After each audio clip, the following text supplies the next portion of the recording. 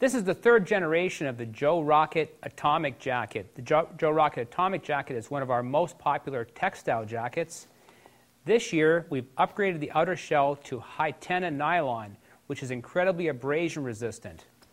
Now, in keeping with all our Joe Rocket jackets, there is CE protection in the shoulders, elbows, and a dual density pad in the back. Now, all that, all that armor doesn't do you any good without a high degree of adjustability.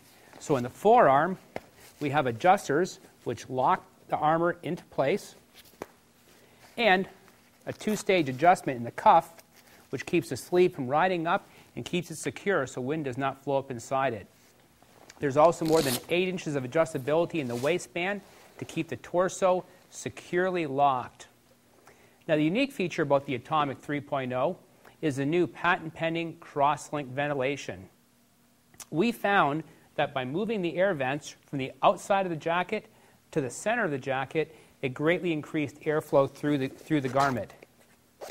We also found that with traditional air vents, the wind will off, often blow the vent shut. So we've added our patent pending cross-link ventilation system. It locks the vents open. When the wind hits it, they blow them open even farther, allowing the maximum amount of air to flow through the jacket.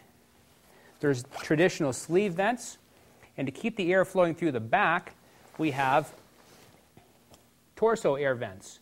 Now looking at the back of the jacket, to maintain safety, we have a reflective stripe mounted up nice and high for maximum visibility. The Atomic jacket has loops on the front and back so you can snap it onto your blue jean to keep it locked into place.